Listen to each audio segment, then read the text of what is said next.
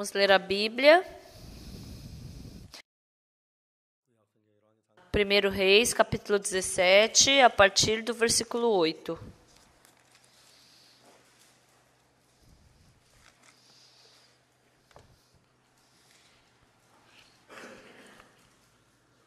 Primeiro Reis 17, versículo 8 ao 16, se vocês acharam, eu vou ler.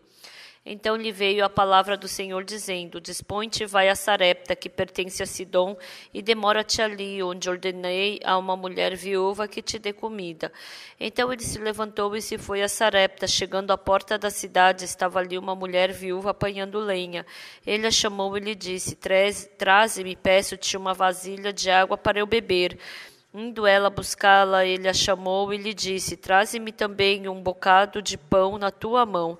Porém ela respondeu: Tão certo como vive o Senhor teu Deus, nada tenho cozido, há somente um punhado de farinha numa panela e um pouco de azeite numa botija. Vês aqui, apanhei dois cavacos e vou preparar esse resto de comida para mim e para meu filho. Comê-lo-emos e morreremos. Elias lhe disse: Não temas, vai, faze o que disseste, mas primeiro faze dele para mim um bolo pequeno e traze-mo aqui fora. Depois farás para ti mesmo e para teu filho. Porque assim diz o Senhor Deus de Israel: A farinha da tua panela não se acabará e o azeite da tua botija não faltará, até o dia em que o Senhor fizer chover sobre a terra. Foi ela e fez segundo a palavra de Elias. Assim comeram ele, ela e sua casa muitos dias. Da panela a farinha não se acabou e da botija o azeite não faltou, segundo a palavra do Senhor por intermédio de Elias. Nós lemos até aqui. Olá, pessoal. Ultimamente a gente tem falado bastante sobre essa viúva de Sarepta.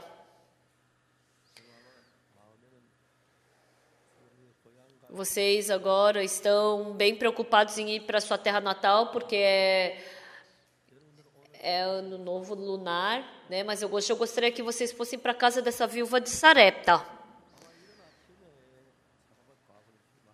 Eu acho que naquela manhã a viúva de Sarepta deve ter orado diante de Deus, Senhor, o Senhor sabe.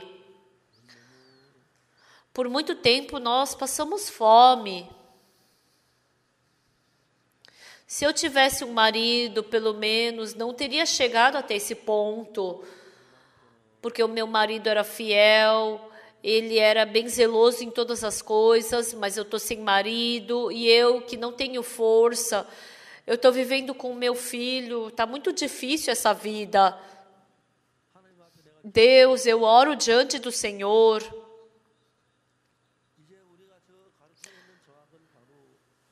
De, a gente economizou e economizou aquela panela de farinha.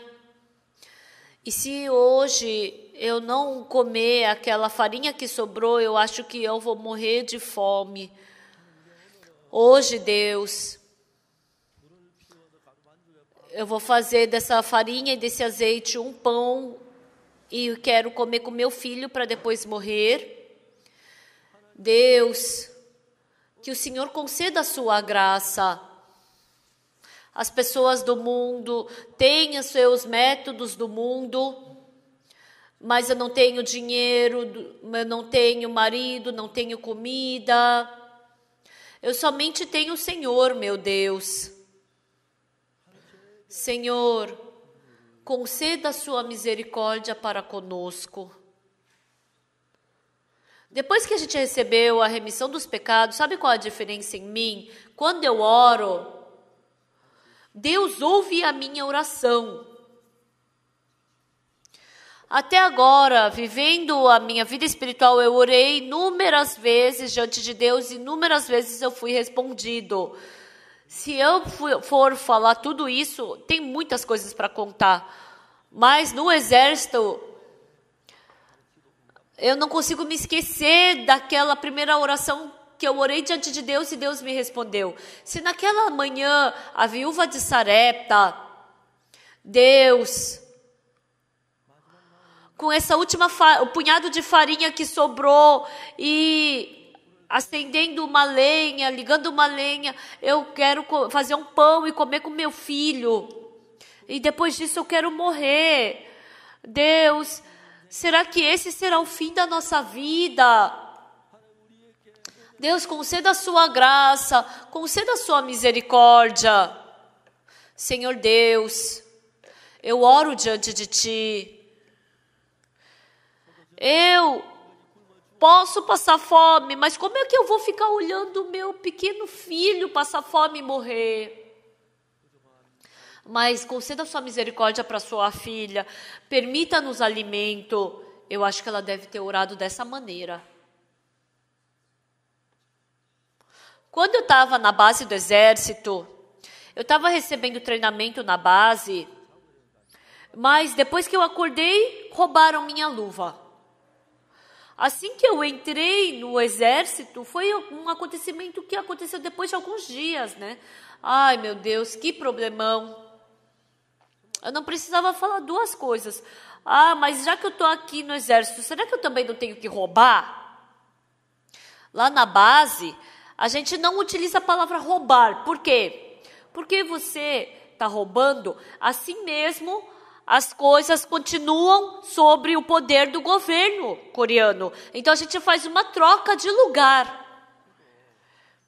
Eu também queria trocar uma luva de lugar. Eu não tenho como viver dessa forma no exército.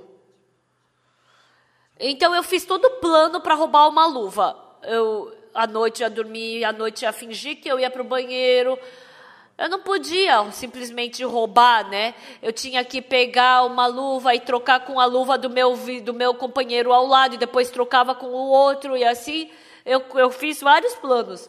Mas naquela noite, o Senhor Deus me deu que coração? Se, vamos supor, você rouba uma luva, você pode não ser pego, mas se você for pego roubando a luva, naquele momento, você vai poder continuamente pregar o evangelho dentro da base? Eu fico tão feliz em poder pregar o evangelho. Pregando o evangelho, vendo cada cada pessoa sendo transformada. A irmã Yu, naquela hora, ela veio e testemunhou. Eu acho que ela, é, é, o testemunho todo não daria tempo hoje, né? Mas ela está sendo transformada. Anteontem, sexta-feira, teve uma formatura e a irmã me ligou, pastor, no hospital. Eles estão muito inseguros com a minha doença e aumentaram o, a, o medicamento. E aquele médico é completamente contrário a mim.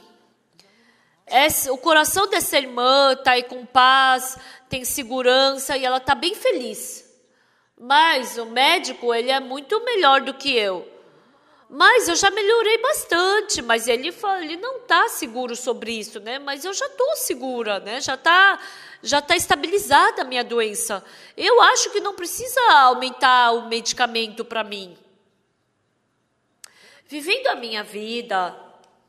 Sabe o que eu fico mais feliz? É quando as pessoas são transformadas. Normalmente, quando eu chego no meu escritório de manhã, eu tenho comunhão no meu escritório, eu tenho que fazer o culto de senhora, aula de seminário, eu tenho que orar junto com os outros pastores, conversar sobre os assuntos da igreja. E a cada momento, e a cada momento que me sobra, tem pessoas que vêm me procurar. Se muito num dia cinco, três, normalmente três, quatro pessoas me procuram. E depois que eu converso com elas, depois que eu converso com os irmãos, eu vejo Jesus Cristo trocando o coração deles. Eu acho isso tão precioso e maravilhoso. Principalmente quando eu prego o evangelho para os irmãos, eles estavam preocupados por causa do pecado e depois recebem o perdão do pecado e glorificam e louvam a Deus. Quando eu vejo isso, se eu, se eu utilizar uma palavra em coreano é hyop. Me falta aqui, ó. Eu fico tão emocionado, grato, alegre, eu fico tão satisfeito. Lá na base, o momento mais feliz para mim era pregar o evangelho. O Oxupar, que ele roubou a luva. Oh, Oxupar, que essa luva não é minha. Não, peraí, mas olha, tem essa, tem essa, tem essa, esse símbolo aqui. Devolve, é minha, é meu. Oh, seu ladrãozinho, fala que frequenta a igreja e fica roubando. Eu fiquei imaginando essas coisas na minha cabeça. Eu podia não ser pego, mas se eu fosse pego, eu ia eu me taxar como ladrão. E ainda mais, ia se espalhar mais ainda essa notícia, porque eu sou uma pessoa que acredita em Deus, né? Imagina, eu ficando na base do exército e não poder pregar o evangelho. Ia ser um inferno para mim. A gente recebia o treinamento de comunicação, e lá nesse treinamento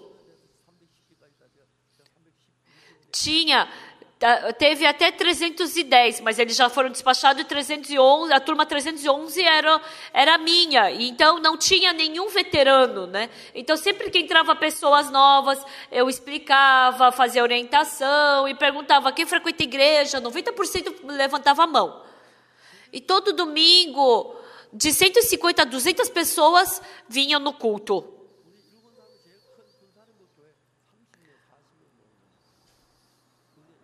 Então, naquele tempo, as, é, reuniam 30, 40 pessoas ao máximo, mas a gente era a, a base que mais reunia as pessoas para o culto, né?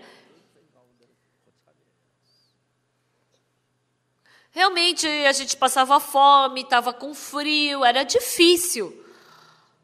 Mas quando eu pregava o evangelho, nossa, a, a, a felicidade né, flui, é, sobressaía do meu coração.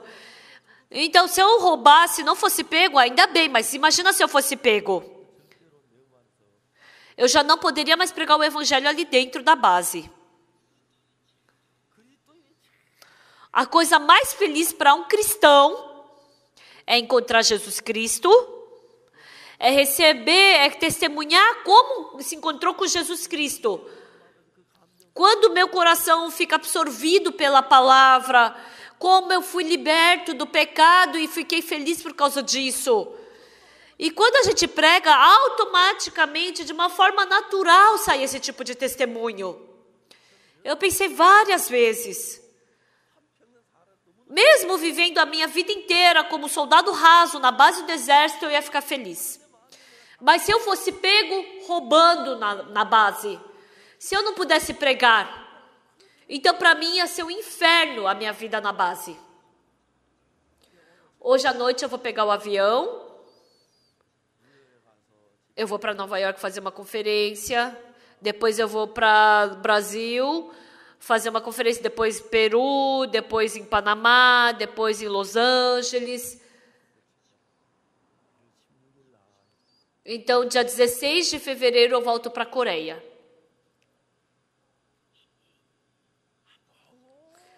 Quando eu vou para lá, eu me esqueço de todas as coisas. Quando eu faço uma conferência, eu esqueço de tudo. Por quê? Eu só fico pertencendo à palavra. E isso me dá felicidade e alegria.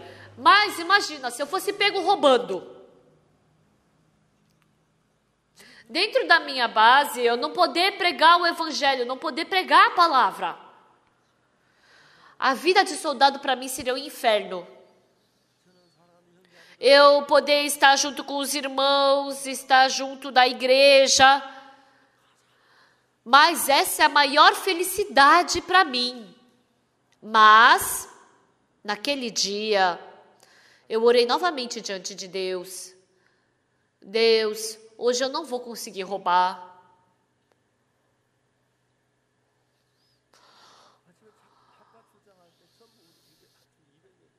Todos os dias de manhã a gente tinha que fazer uma marcha, né?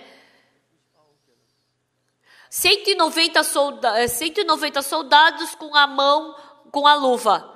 E a minha mão estava sem luva e o soldado superior me perguntaria: onde você vendeu a sua luva? Eu estava com muito medo dele perguntar isso. E naquela manhã eu orei diante de Deus: Deus, eu não vou roubar, mas me ajude, por favor. Só um par de luvas já é o suficiente.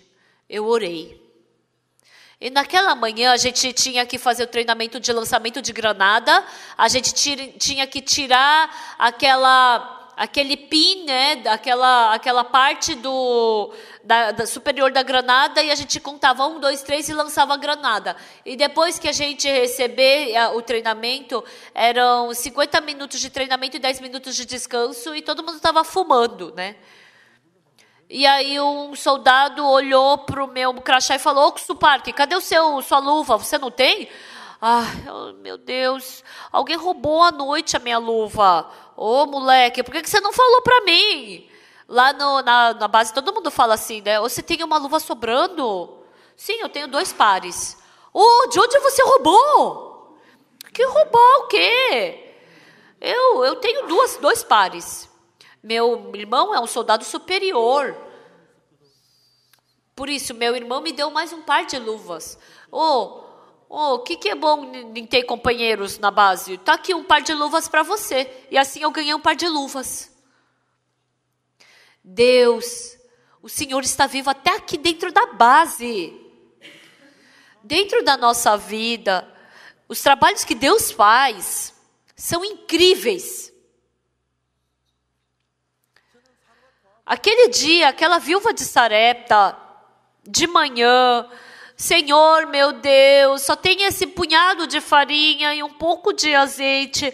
Eu vou pegar dois cavacos, acender um fogo, e agora eu vou comer esse pão e tenho que morrer com meu filho. Por que, Senhor, a gente tem que morrer? Conceda a sua graça. Senhor meu Deus, por favor, responda para mim. Dê-me seu alimento. Aquela pequena criança, como eu posso vê-la morrendo de fome? Eu acho que ela orou dessa maneira. Então, de manhã, ela acordou, ela foi, saiu para pegar dois cavacos, dois pedaços de madeira seco e ela pegou alguns galhos secos e ela queria fazer um pão, acender o um fogo e fazer um pão. Mas nesse meio tempo ela encontrou Elias. E Elias falou: traz um copo de água primeiro para mim. E essa mulher estava indo buscar e ele falou: espera um pouquinho. Não somente me traga água, mas faz um pequeno pão para mim também. O que, que essa mulher falou? Homem de Deus. Tão certo como vive o Senhor teu Deus, nada tenho cozido, há somente um punhado de farinha numa panela, um pouco de azeite uma, numa botija. E vês aqui, apanhei dois cavacos e vou preparar esse resto de comida para mim e para meu filho, comê-lo-emos e morreremos. Mas o Elias disse para aquela mulher algo que ela jamais poderia imaginar. Não temas, vai, faz o que disseste.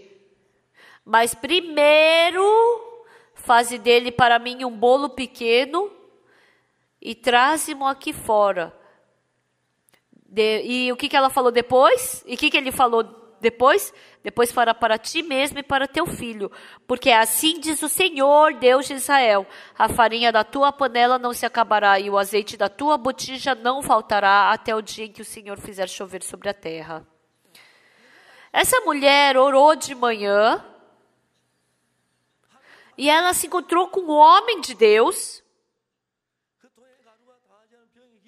E que não, e ele disse que a farinha da outra panela não se acabará e o azeite da sua botija não faltará. Nossa, ela ficou emocionada com essas palavras. Irmãos, ela pensou, com certeza Deus responde, vai é, responder a minha oração de hoje, com certeza Ele me ouviu. Quando a gente lê a Bíblia, desde Gênesis até Apocalipse, aparecem todos os trabalhos que Deus realiza. Satanás, quando a gente lê a Bíblia, ah, isso daí é o que está escrito na Bíblia, mas ele não vai trabalhar em você. Você é mal, você pecou, você mentiu, Deus te odeia, Deus não vai te ajudar, você tem que morrer de fome, você vai fracassar. Satanás fala dessa maneira. Mas pelo contrário, Deus fala para a gente ele fala que ele, ele dá a fé no nosso coração e que ele quer trabalhar. A pessoa sábia, inteligente, acredita na palavra de Deus. Os insensatos escutam e seguem a palavra de Satanás. Parece que a palavra de Satanás está certo. Como vai surgir farinha na panela? Não faz sentido. Mas as pessoas sábias acreditam na palavra de Deus. Antigamente eu não conseguia acreditar em nenhuma palavra de Deus. Eu depois descobri que eu sou uma pessoa suja e má. E a partir do momento que eu comecei a aceitar a palavra de Deus, começou a surgir esperança perante Deus. E continuamente começou a surgir um coração de que Deus iria trabalhar. A viúva de Sarepta, Eu acho que simplesmente se o Elias tivesse aparecido do nada, ela não teria acreditado. Mas ela deve ter orado naquela manhã: Deus, me dá um alimento, esse é o nosso último alimento. Como eu posso enxergar continuamente meu filho morrendo de fome? Por favor, dê comida para o meu filho. Mas veio Elias, o homem de Deus, Porque assim diz o Senhor Deus de Israel: a farinha da tua panela não se acabará e o azeite da tua botija não faltará até o dia em que o Senhor fizer chover sobre a terra. Sim, Deus, o Senhor é Deus. Por isso o Senhor me enviou o teu servo. Eu orei hoje de manhã e o Senhor está respondendo essa minha oração, meu Deus. Os cristãos sábios, escutam a palavra de Deus, veem a palavra de Deus e acreditam nela. Mas o insensato escuta a voz de Satanás. Ai, como vai surgir continuamente farinha na panela? Como vai surgir? Não faz sentido, para de falar besteira. Você acha que isso faz sentido? Não tem nenhuma diferença da, entre a pessoa que recebe bênção e maldição nesse mundo, somente uma. Ou a pessoa acredita na palavra de Deus, ou você acredita na voz que Satanás coloca no seu coração. A viúva de Sarepta, para ela, aquela botija de farinha e azeite era muito importante. Mas Deus, Ele quer me abençoar. Por isso Ele me fez encontrar com o servo. Ele vai fazer sobre, vai fazer abundar a farinha na panela. Assim como o servo falou, até o dia que chover nessa terra, não vai faltar farinha nessa panela. Depois que essa mulher escutou essa palavra, depois que ela deu pão para o Elias, ela falou para o filho: Espera só um pouco, espera só um pouco, espera só um pouco. Eu vou te dar o pão o quanto você quiser depois que ele for. E quando ela tirava a farinha da panela, surgia de novo. E tirava e surgia, tirava, surgia, tirava e surgia.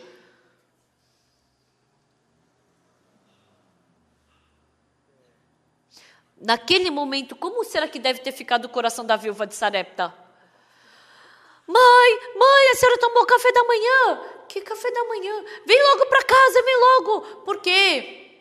Tem pão em casa. Ai, eu acho que ela tá doida. Ai, mãe, vem, vem, tem pão, traz, traz, traz o seu pai, traz, venha logo, venha logo. E aí ela falaria: Olha, a nossa, a nossa filha tá, tá, tá meio doente, tá falando que tem um monte de farinha na panela. Todo mundo falava que, ela, que aquela mulher estava louca, mas não faltou farinha na panela. Sabe o que é interessante depois que você se torna pastor? Dentro da vida dos irmãos, depois que a gente prega a palavra para o irmão e a palavra entra neles, a vida dos irmãos, a gente pode ver que ela começa a ser transformada. A viúva de Sarepta, ela, não, ela podia não ter outras coisas. Mas o que, ela, o que era mais importante é que Deus trabalhou pela viúva de Sarepta. Naquele dia, Deus, na época de Acabe, todo o povo de Israel, a esposa de Acabe, a Jezabel, ela matou todos os homens de Deus e ela, ela adorava o Deus Baal. Embora eles fossem homem de Deus, mas eles morreram mas só sobrou Elias. Mas agora Deus, através desse Elias, Deus apareceu através desse Elias, Deus mostrou que ele estava vivo, Deus trabalhou para que todas as pessoas pudessem enxergar que Deus estava vivo através do Elias. E aí ele foi escolhido pessoas para fazer esse trabalho junto com Elias. E se agora Deus for escolher as pessoas para fazer esse trabalho de Deus, tal irmã, é, é presidente das irmãs, das senhoras casadas, eu não sei se Deus utilizaria essas pessoas, mas naquele dia, diante de todo o povo de Israel, Deus, ele que para aparecer o trabalho de Deus através de Elias, Deus escolheu quem? Para fazer o Elias sobreviver? A viúva de Sarepta. Por quê? Porque ela conhecia Deus, Deus conhecia ela, ela acreditava em Deus e ela se tornou um coração como o de Deus. Nessa época, nós somos a viúva de Sarepta. A viúva de Sarepta não era uma mulher que teve essa fé desde o princípio. Depois que o marido morreu, ela vivia com o filho e não choveu por alguns anos, ela estava passando fome. E essa viúva, ela utilizou os métodos dela e ela estava esperando e dependendo de Deus. Mas para fazer esse tão grande trabalho e poderoso de Deus, Deus não escolheu outra pessoa. Deus escolheu a viúva de Sarepta. Enquanto nós recebemos a salvação e vivemos dentro do Senhor, Deus, quando Deus nos escolheu para pregar esse evangelho, dentre os, os profetas de Deus, muitos morreram, mas ele, Deus deixou Elias. Teve perseguição, teve morte. A gente escuta essas, essas, essas notícias, né? Mas no nosso coração, Deus está vivo. Independente do que as outras pessoas digam. A viúva de Sarepta acreditou em Deus, dependeu de Deus, acreditou na palavra de Deus, porque ela seguiu a palavra de Deus. Embora houvessem muitas outras pessoas, fora Elias, for, existissem muitas outras pessoas, Deus fez Elias se encontrar com a viúva de Sarepta. Hoje uma irmã veio aqui na frente e testemunhou. O coração dessa irmã era muito fraco, tinha muitas dificuldades. Um dia, depois que acabou o culto de domingo, essa pessoa veio me procurar. Pastor, eu quero fazer comunhão. Hoje eu já tenho bastante pessoas assim que eu já marquei. Tá, pastor, mas eu vou te esperar. Então, então teve uma pessoa que eu tive que conversar por duas horas naquele dia, né? Aí eu falei, olha, depois de duas horas você pode voltar? Sim. E aí ela fala meio assim, meio durona, né? E depois que eu acabei duas horas de comunhão com aquela pessoa, e eu me esqueci por um momento que eu tinha combinado com ela. Depois que eu acabei com ela, então mais ou menos duas horas da tarde, ela devia estar esperando. Mas eu tinha que esperar por ela mais, eu fui para casa. E eu tomei café. Não, eu fui almoçar em casa e eu voltei para a igreja às quatro horas da tarde. E aí, quando, quando eu a vi na frente do estacionamento, eu me assustei. E eu, nossa, eu comecei a pedir, implorar perdão. Ai, desculpa, eu já tô velho, eu tô esquecido. Ai, desculpa, eu falei um monte de desculpa. Aí ela, não tem problema.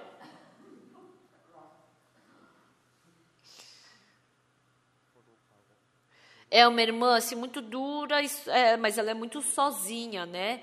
Ela foi expulsa pelos pais e ela batia nos homens. Ela foi até parar na delegacia por causa disso. E eu acredito que foi Jesus Cristo que mandou ela para nossa igreja. Ah, Jesus ama essa irmã. Eu não tenho amor mas é uma pessoa muito assim desprezada pelas outras pessoas. E eu fui eu queria ser assim muito caloroso com ela né? Normalmente eu não sou né? Mas eu vi que ela escutando o evangelho ela começou a mudar. Aquela hora eu já falei. Mas ela na formatura ela me ligou e falou pastor eu tenho que tomar mais dois remédios. Não não, irmã, quando, eu não sei o que o, porque o médico falou isso, mas quando eu vejo, eu gostaria que você diminuísse esse medicamento pela metade, irmã. Eu falei, não tome mais. E a irmã dela, ela pregou o evangelho para a irmã mais velha e ela ficou feliz e ela falou: "Você frequenta essa igreja?" Realmente, muitas pessoas ficam falando, né? Pessoas más ficam falando que a gente é herege. Essas pessoas são pessoas que a gente nunca se encontrou na vida somente escutaram boatos de outros. E as pessoas gostam de fofoca, né? Então eles escutam essas fofocas. E essa irmã, dentro da nossa igreja, ela pôde se encontrar com Deus. Como que eu vou trocar o ser humano? Como eu vou transformar um ser humano? E ela estava muito insegura, ela não estava segura no trabalho também e porque ela, ela não tem uma boa. Ela também não tem uma boa mentalidade, ela briga com soco lá na, na, no trabalho dela. Acho que ela até pegou no, se pegou nos tapas aqui com alguém da igreja, né? Mas quando eu falo, ela, tá, pastor. E ela. Mas eu vi Deus trocando o coração dessa irmã e eu achei muito gratificante. Quando eu vejo essa irmã agora, nossa, eu fico muito feliz. Ontem à noite, a irmã Munredin, ela veio para me cumprimentar e ela veio bem tarde da noite. Ela veio. Já faz 10 anos que ela caiu lá em Gana. E ela quebrou um osso da cervical, né? Só de pensar agora, nossa, o meu coração ainda assim fica assim meio, é, né? É, isso mexe com o meu coração. Quando eu escutei essa notícia, ela foi para o hospital lá de Gana, só que o médico falou: ah, você não tem nada, e mandou ela embora para casa. E aí, quando ela voltou para a igreja, a perna dela estava ficando paralisada. E eu pensei, nossa, lá na, no país de Gana ela não vai poder fazer a cirurgia. Aí eu peguei, eu falei, olha, faz ela vir o mais rápido possível para a Coreia. Ela tinha que ir para Emirados Árabes para pegar um outro voo. E a gente implorou, por favor, traz essa estudante para cá. Ela não pode sentar no assento, ela tem que vir deitada. Eles falaram, não, então não dá. A gente não tem como mexer nesses assentos. Aí a gente ligou para a Lufthansa. E eles falaram assim: amanhã dá. Não, hoje, por favor, uma hora é o suficiente para a gente levar ela. Porque o avião que parte da Alemanha até Gana já partiu. Ah, não, não pode. Então, mas não dá. Mas e daí? Ah, mas é que a gente precisava mandar o assento, a gente tem que tirar quatro assentos para virar um assento. Então amanhã a gente vai fazer, vai transportar ela. Hoje já não dá mais. E a gente tinha que ligar logo para os pais dela. E aí eu liguei para a mãe. A senhora é a mãe da Regina, ela deve estar sentada aqui. Mas no, dois dias antes que eu liguei para ela, ela, eu fui fazer uma visita na casa dela e ela comentou que a filha dela estava em Gana. Mas eu nem sonho imaginei que era aquela menina que havia caído depois. Aí eu liguei para ela, senhora mãe da Redi, se mãe da Redi, não se assuste, tá bom? Ela estava trabalhando num andaime lá em Gana, mas ela caiu e quebrou uma, um osso da coluna cervical e o médico disse que ela jamais vai poder andar. E nós queremos trazê-la para a Coreia, mas o Emirados Árabes jamais vai poder trazê-la de volta. Não vai poder trazê-la, então a Lufthansa vai poder trazê-la amanhã. E era, depois eu descobri que aquela irmã que eu fui visitar a casa dois dias. E aí essa irmã falou o que para mim? Pastor, eu acredito que o Senhor sabe mais do que eu, então o Senhor pode fazer como o Senhor achar melhor.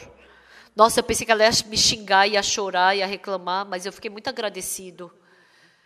E a gente, a gente pegou o avião da Lufthansa e transportou ela para Frankfurt. Quando a gente ligou para o pastor, ele estava em Göttingen.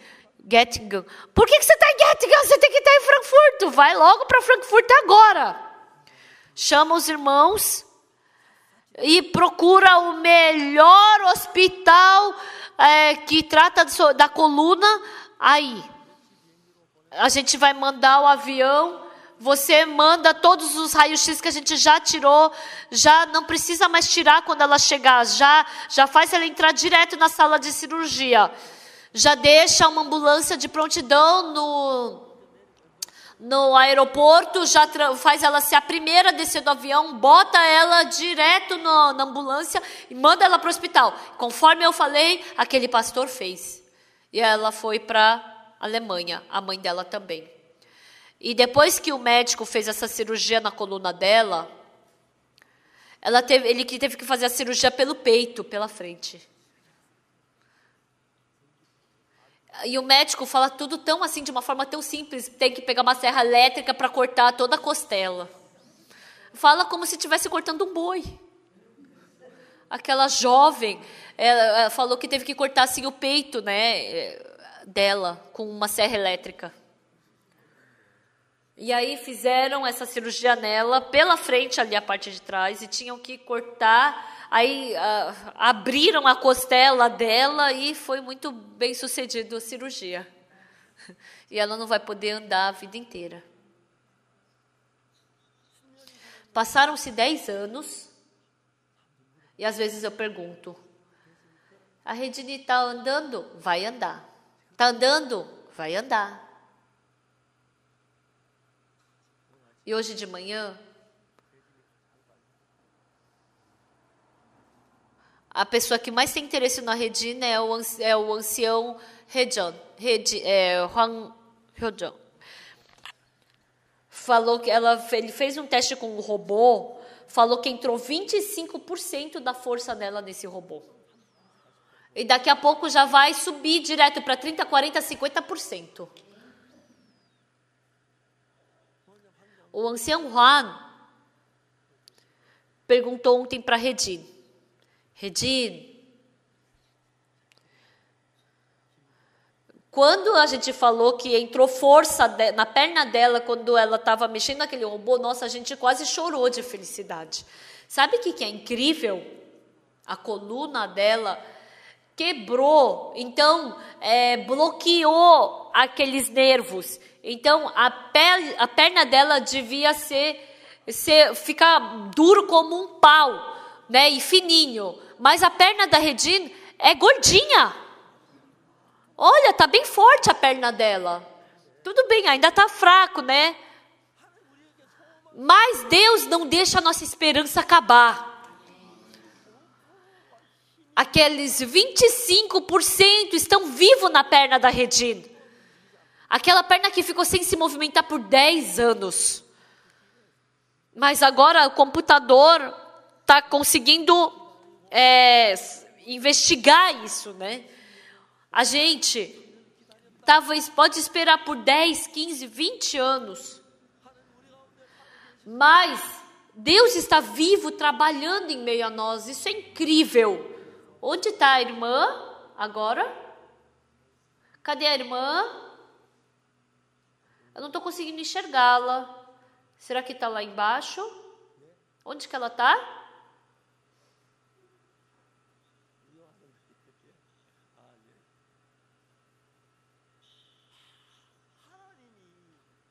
Deus.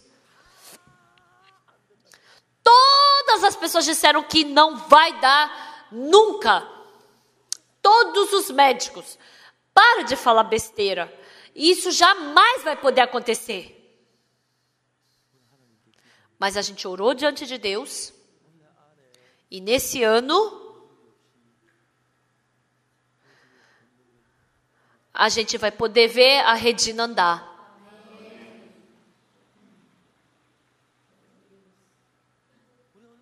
há um tempo atrás, em Rapchon,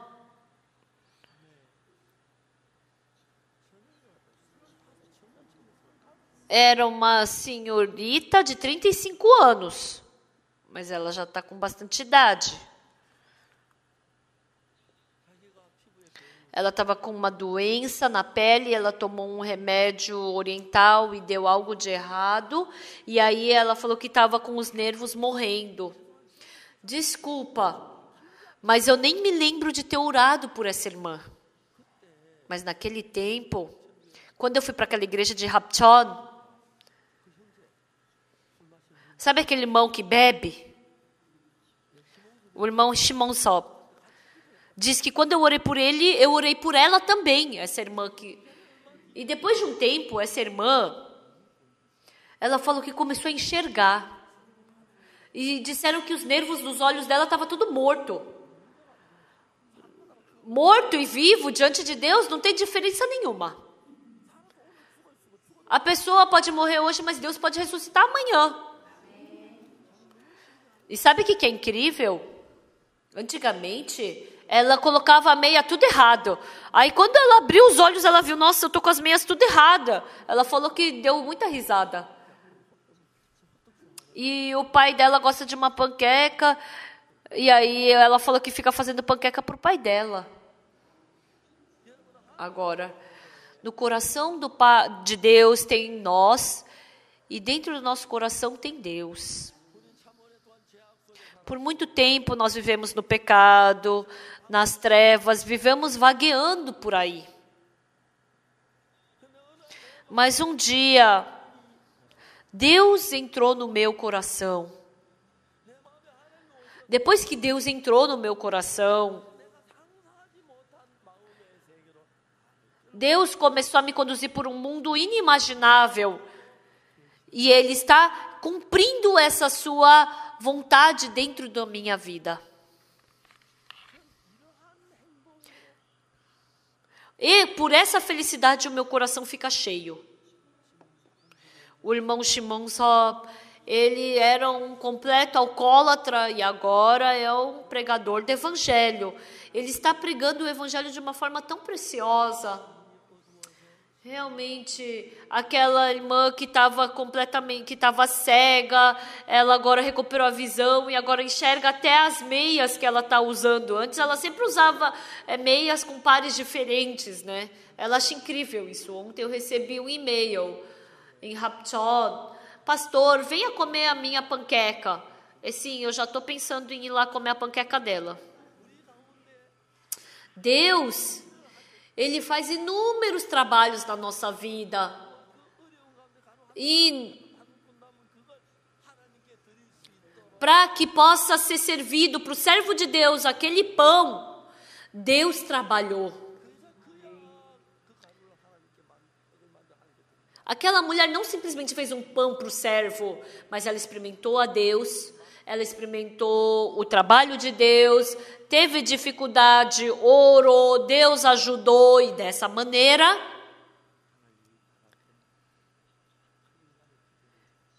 Deus escuta a oração de uma pessoa tão má quanto eu. E o nosso coração chega até que ponto? Ah, vou comer só esse pedaço de pão e vou morrer. Eu não posso, eu não posso servir isso para Deus. Nós somos esse tipo de pessoa. Mas Deus está acima de nós. Ele, ela pôde oferecer aquele pão que era mais importante do que a vida dela para o servo de Deus. E ela podia fazer o pão e chamar todas as senhoras da, da aldeia, né? Olha, vem aqui que eu vou fazer o pão. Ó, oh, vem aqui, você olha, você, você vai, você eu te dou a massa, você assa, tá? O que que tá economizando farinha? Vai, bota mais farinha nessa, nessa massa. Imagina, eu fiquei imaginando, imagina o filho cheio de pão, em cada bolso ele colocava um pão para levar para a escola. Ô, oh, o que que é isso aí? É pão, e aí? Ô, oh, sério que é pão? É. Posso ver? Olha aqui, ó, é pão.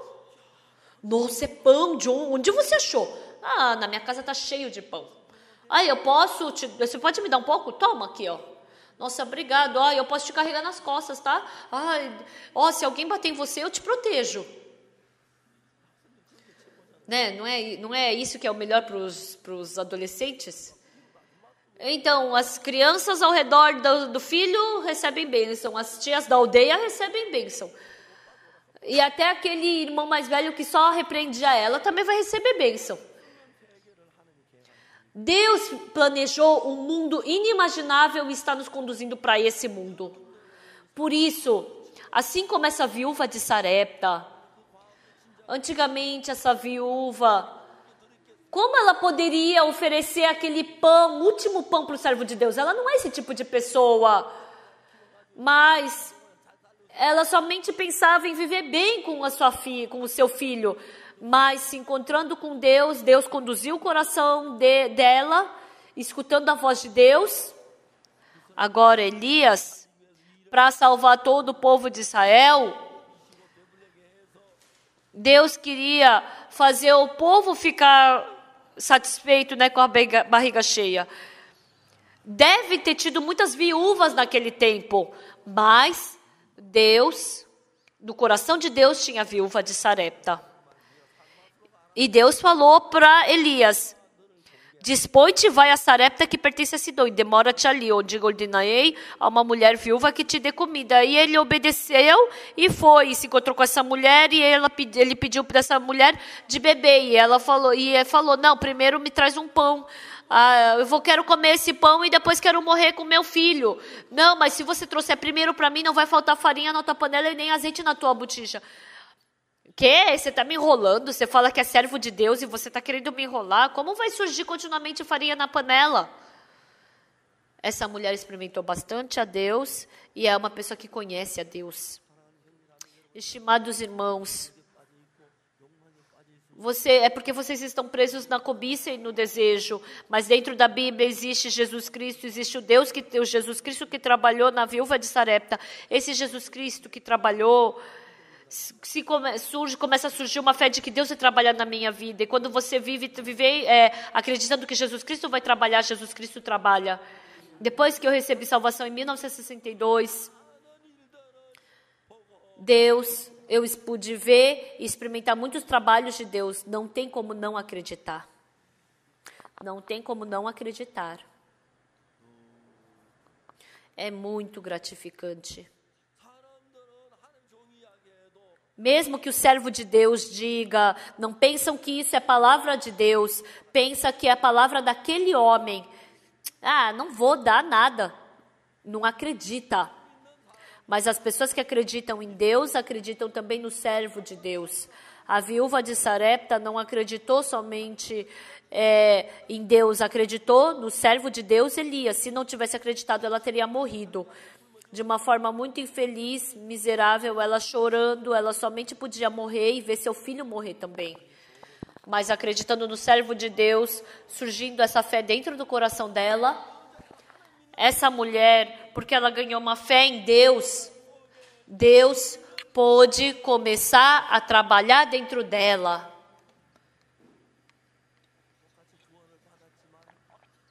Tem pessoas que receberam salvação da mesma forma e que vivem estão preocupadas somente preocupadas em si mesmas, não acreditando na palavra de Deus, então Deus não pode trabalhar nelas. Assim como a viúva de Sarepta Se você se tornar uma pessoa que precisa de Deus, independente de que problema vocês deparar, se depararem, independente da fome, independente da doença, independente da infelicidade, independente do problema com que vocês se depararem, por Deus vocês podem ganhar, vocês podem ser trabalhadores preciosos utilizados por Deus.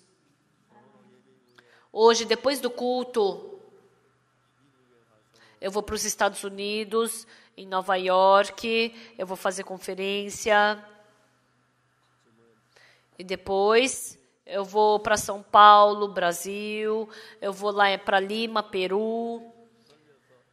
E depois eu vou, eu vou para Los Angeles, Estados Unidos, eu vou fazer conferência em cinco lugares diferentes. Realmente nós podemos ter esperança É porque a gente pode ensinar para muitas pessoas que Jesus Cristo lavou os nossos pecados. Recebendo o perdão do pecado pelo sangue de Jesus. E quando nós recebemos o perdão do pecado por Jesus e depois nós fluímos o nosso coração com Deus, Deus trabalha dentro dessa pessoa. E quando eu penso que Deus vai mudar a vida dessa pessoa, é muito gratificante. Antigamente, eu também, quando eu não tinha Deus no meu coração, eu somente tinha eu mesmo. Se eu tinha se eu tinha 10, eu tinha 10. Se eu tinha 100, eu tinha 100. Então, se eu não tinha, eu não tinha nada. Mas depois que eu acreditei em Deus, Deus começou a trabalhar. Mesmo que você não tenha dinheiro, você pode trabalhar como se tivesse dinheiro. Você trabalha, mesmo que você não tenha comida, você pode trabalhar como se tivesse comida. Eu experimentei isso. Por quê? Porque Deus queria me ensinar isso e ele criou esse e aqueles trabalhos. Agora, a Missão Boa Notícia, a igreja de Gangnam, a gente começou a espalhar esse evangelho para todo o mundo. E agora inúmeras pessoas estão recebendo perdão do pecado e estão sendo transformadas. A outra vez o pastor Iminchor foi para o Brasil e 500 pastores receberam a salvação e muitos pastores ainda vão receber salvação. E também diz que uma grande igreja do Brasil me convidou para fazer uma conferência. Né? Deus está abrindo esse caminho, não porque eu sou bom e inteligente, mas porque o que as pessoas que sabem que eu tenho algo melhor, que é Deus. Então, as pessoas, as pessoas que acreditam que eu tenho Deus, elas não terão fardo, não reclamarão sobre mim. Eu acredito que elas serão felizes. A viúva de Sarepta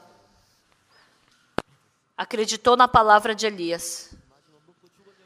E aquele pão, que ela, aquela farinha, aquela, a última farinha que ela tinha para fazer um pão dela para comer e morrer, aquilo que ela tinha de melhor ela deu para o servo, engolindo a saliva. Nossa, se fosse servo de Deus, por que, que você não dividiu, comeu tudo sozinho, né? Mãe, eu também quero comer pão. Quem é aquele homem? Você deu todo o pão para ele e não deu nada para mim. Espera um pouquinho, eu vou te dar um monte de pão daqui a pouco. E depois que o Elias comeu todo o pão e bebeu água, pronto, e ela foi correndo para a panela. E com o coração tremendo, ela abriu a tampa da panela. Isso, o surpreendente é que, conforme a palavra de Deus, a panela dela estava cheia de farinha. Homem de Deus! A panela está cheia de farinha! Não é verdade? Imagina que momento mais emocionante não seria esse. Oh, eu vou fazer um monte de pão, come, come um monte no telefone, mandou mensagem para o pai, para o irmão, para a família do, do marido que morreu. Vem logo comer pão. Nossa, eu acho que ela já está enlouquecida. Como assim? Tá, não tem tá, a farinha da panela dela não para de sair. Ah, vem aqui ver para ver se é ou não é verdade. E aí ela abriu uma padaria. Olha que Você só, ó senhora, você só coloca a farinha aqui na massa. E você mexe na massa, e você só assa, e você embrulha e você distribui. E essa grande graça se espalhou por toda aquela região. Estimados irmãos, quando nós recebemos graça de Deus, essa graça vai ser espalhada para nossa família, para os nossos vizinhos, para os nossos amigos. E assim como nós, eles poderão comer esse pão, vão poder experimentar o trabalho de Deus, vão poder receber a salvação, vão poder receber o perdão do pecado, porque isso é incrível. Você não, é, não faz outra coisa senão esse trabalho. Para que, para que esse evangelho seja espalhado por todo, por toda, por todo mundo por isso, para esse trabalho, nós fazemos o Good News Corps, o acampamento mundial, grande conferência. Por causa disso, nós andamos de avião, nós pregamos o Evangelho. Pelos dias passados, Deus, através da nossa igreja, permitiu com que muitas outras pessoas pudessem escutar esse verdadeiro evangelho do perdão dos pecados. É tão gratificante. E eu dei a minha vida por isso, eu dei o meu ser por isso, meu tempo, meu coração, todas as minhas coisas eu estou dando para isso. E me tornando na viúva de Sarepta dessa época, quando eu penso que eu vou poder dar farinha para muitas pessoas, é muito gratificante, muito pão. Ah, muitos irmãos falam, ah, tem que ficar pagando cantata de Natal. É um pensamento muito coitado, né? Nossa, quanto custa uma cantata? Nossa, mas quanto custa a nossa salvação? Quanto custa a paz, a felicidade, a alegria que a gente ganhou pela salvação? Porque são tão egoístas. Tem fardo por causa da cantata. E assim acabam deixando o evangelho, voltam para sua vida passada, bebendo, fumando, para aquela vida absoluta. Por causa dessa tão preciosa cantata, largam tudo. Nós, por causa desse evangelho, servimos a Deus. E agora, conhecendo a Deus, eu me tornei um conhecedor de Deus.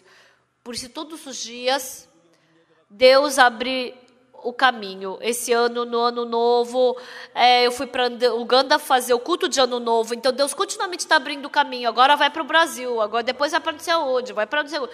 Deus, para mostrar a sua glória, Deus continuamente está abrindo as portas.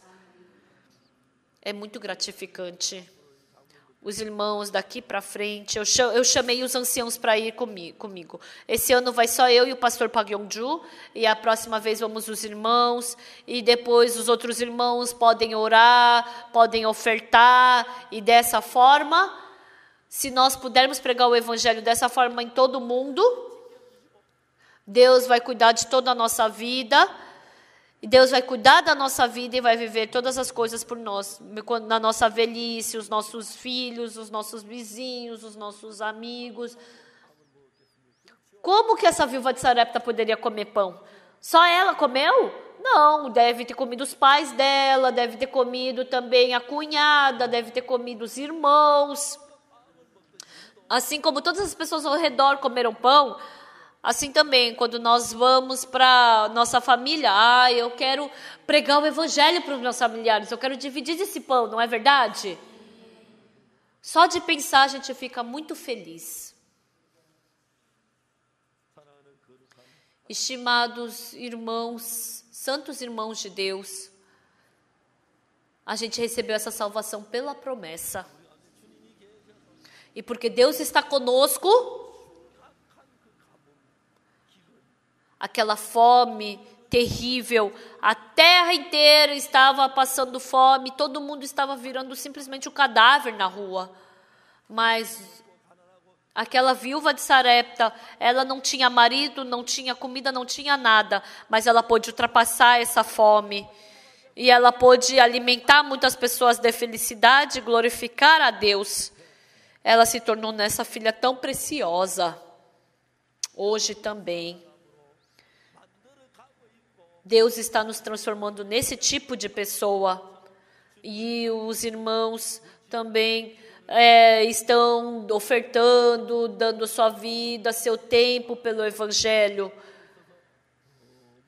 E é muito gratificante diante de Deus, porque muitas pessoas estão recebendo esse Evangelho. Eu vou pregar o Evangelho em Fiji, no Oceano Pacífico, em Mianmar, na Tailândia, na Índia em Sri Lanka. A gente quer enviar missionários para o mundo inteiro para pregar o Evangelho e que os irmãos possam, por oração, cooperar, por oferta, cooperar. E esse pequeno pão que possa nos alimentar, para que não tenha, que seja um pão precioso para que não tenha falta nenhuma. Abram essa mão fechada. Abram diante de Deus.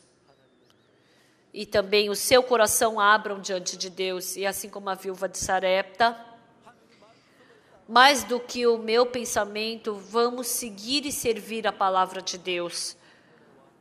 E Deus vai conceder a sua graça e a sua bênção tão grande. Eu acredito piamente nisso. Amém? Amém? Sim. Vocês são a viúva de Sarepta dessa geração. Nós estamos dentro de Deus e dentro do coração de Deus nós também estamos. E quando essa preciosa salvação é é concretizada, nós podemos pregar esse evangelho. Amém? Por isso, que, todo, que todos nós sejamos a viva de Sarepta de hoje em dia. Até agora há pouco ela estava escura, preocupada, porque comeria esse pão e morreria. Mas vendo Deus respondendo a oração dela, quando Deus respondeu a minha oração, Deus também responda para mim e que hoje também ele possa responder para todos vocês. Eu acredito piamente que ele responderá a todos vocês. Até aqui.